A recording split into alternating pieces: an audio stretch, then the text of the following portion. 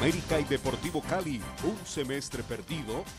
Polémica este lunes festivo en nuestra edición de las 8 de la noche en Telepacífico Noticias.